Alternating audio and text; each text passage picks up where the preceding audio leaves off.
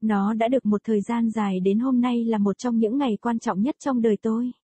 Trong vòng 5 phút cuộc đời tôi sắp thay đổi.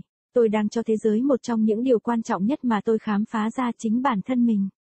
Nhưng làm sao tôi đến được đây, làm sao tôi có thể đứng trước hàng triệu người và nói chuyện. Tôi chắc chắn chưa bao giờ nghĩ điều này là có thể. Rốt cuộc tôi chỉ là một đứa trẻ trong làng, người không còn là ai trong vòng chưa đầy hai năm trước. Điều này xảy ra như thế nào, cũng hãy để tôi chia sẻ điều này, tôi luôn biết cuộc sống có một cái gì đó nhiều hơn để cung cấp và không có vấn đề gì tôi cũng sẽ một ngày nào đó thành công và được biết đến trên thế giới. Giàu và nổi tiếng là ước mơ lâu đời của tôi và chỉ là bản thân mình và mọi người bắt đầu yêu thương tôi và nhìn vào tôi cho tất cả những điều tuyệt vời mà tôi có thể và có thể làm. Giống như cách bạn thường đối xử với Chris Brown hoặc Justin Bieber. Tôi muốn được lên sân khấu, làm điều gì đó hoặc nói điều gì đó đáng để chi tiêu tiền bạc và thời gian trên. Nhưng tôi có một vấn đề, tôi không biết làm thế nào để nổi tiếng hoặc làm thế quái nào tôi sẽ có một triệu người đến xem chương trình của tôi và lắng nghe tôi làm công việc của tôi. Tôi đã cố gắng chơi thể thao, nhưng chết tiệt chảy và di chuyển đã giết chết tinh thần của tôi. Tôi đã cố gắng hát, hãy nói sau một buổi thử giọng ở Nam Phi có tài năng, điều đó đã không xảy ra. Tôi đã cố gắng diễn xuất nhưng sau 3 ngày tôi đã mất niềm đam mê mà tôi chưa bao giờ có cho nó chủ yếu là vì tôi không thân thiện với máy ảnh. Vâng, tôi không có tài năng, tôi không có bất cứ điều gì tôi có thể cung cấp cho thế giới.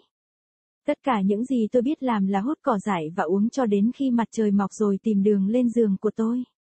Một điều tôi biết làm thế nào để làm tốt hơn bất kỳ ai là ngủ, bất cứ ai sẽ nghĩ rằng tôi đã chết. Nhưng điều đó không thể làm cho bất cứ ai nổi tiếng. Đó chỉ là lãng phí thời gian và không lành mạnh, nhưng tôi có thể kiếm được tiền từ nó có lẽ không? Tôi luôn thích nói chuyện với mọi người và làm cho mọi tình huống có vẻ thú vị. Tôi đã từng yêu cảm giác mà tôi sẽ có bất cứ khi nào trong một cuộc tranh luận hoặc tranh luận, tôi có thể chọn bất kỳ bên nào và thuyết phục khiến mọi người đồng ý với bất cứ điều gì tôi đang nói hoặc chống lại. Bạn bè của tôi chỉ biết tôi vì đã nói dối, tôi sẽ không nói tôi là kẻ nói dối nhưng đôi khi uốn cong sự thật một chút luôn làm cho những câu chuyện tôi kể một chút hài hước và tuyệt vời. Một điều tôi biết là hầu như hàng ngày trước khi tôi ngủ, chỉ 5 phút trước khi tôi nhắm mắt tôi thấy mình mỉm cười nhìn trên mái nhà nghĩ về điều gì có thể, nên là gì và nếu mọi thứ tôi ngồi và tưởng tượng trong phòng của tôi một mình vào ban đêm có thể trở thành. Mỗi đêm tôi sẽ thấy, tôi ở một trong những sân vận động lớn nhất của Nam Phi và chỉ được với mọi người và nói về điều gì đó. Bất cứ điều gì, mặc dù tôi không có ý tưởng về những gì chúng ta sẽ làm trong một trong những cuộc họp đó, nhưng tôi biết tôi muốn đứng trước những người đó và làm điều gì đó. Tôi thích suy nghĩ của mình, rất nhiều đến nỗi tôi muốn khai thác vào trí tưởng tượng và biến chúng thành hiện thực. Nhưng làm sao tôi có thể làm được điều đó? Làm thế nào để tôi thể hiện những điều đó vào thế giới vật chất và thấy chúng trở nên chính xác như tôi muốn? Đó là một số câu hỏi khiến tâm trí của tôi luôn luôn hoạt động suốt đêm. Tôi rất cần biết thực sự tôi là ai và những món quà hay tài năng tôi có trong tôi để tôi có thể phục vụ thế giới. Nếu Ronaldinho có thể quản lý để tạo ra một tên tuổi cho chính mình bằng cách chỉ làm những gì ông yêu thích nhất và được trả hàng triệu đô la chỉ để vui chơi. Sau đó, hãy có một cái gì đó mà tôi sẽ có thể làm và có thể làm cho tôi giàu có. Nếu Thomas Edison có thể quản lý để thắp sáng trái đất, làm rất nhiều điều tuyệt vời và thay đổi thế giới, tôi cũng có thể như vậy tôi không giống như ông có một lợi thế về thời gian hoặc cuộc sống hơn bất cứ ai.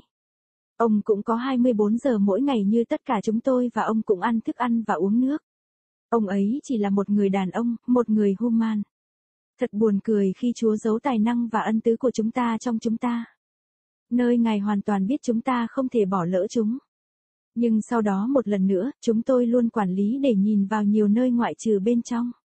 Đó là một trong những vấn đề của tôi.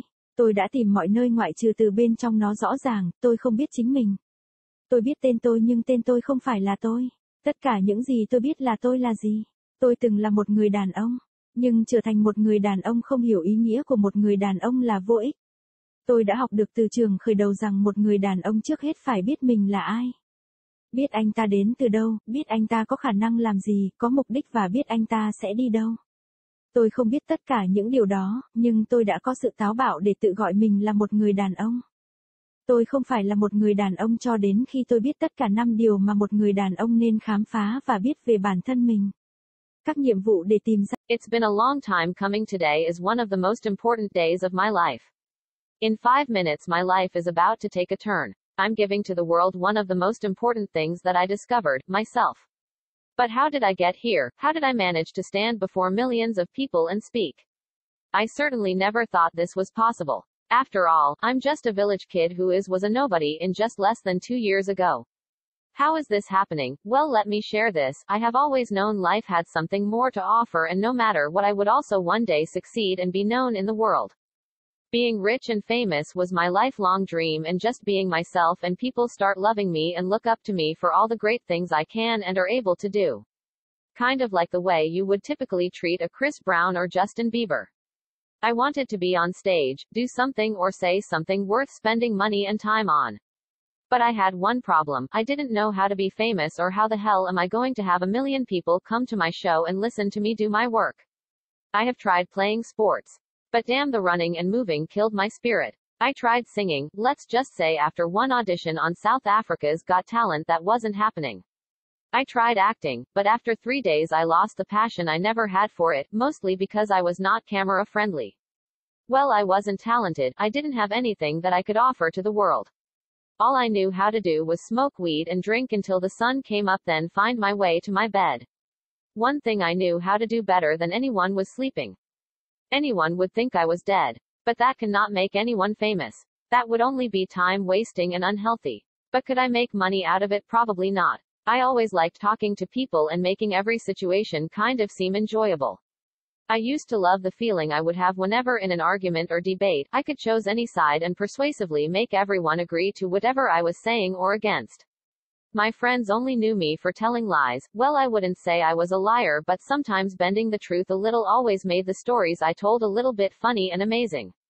One thing I know though is almost every day before I slept, just five minutes before I close my eyes I would find myself smiling looking in the roof thinking about what could be, what should be and what if everything that I sit and imagine in my room all alone at night could come to be. Every night I would see myself in one of South Africa's biggest stadiums and just be with people and talking about something, anything. Even though I didn't have an idea of what we would be on about in one of those meetings.